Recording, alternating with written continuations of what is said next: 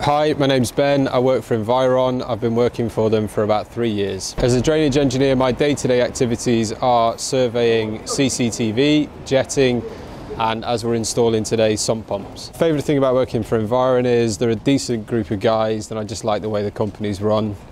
It fits me the way they, they do things. If I could invite three people for dinner, there would be Kenton Cool, because he's a good guy, Johnny Cash and Steve McQueen.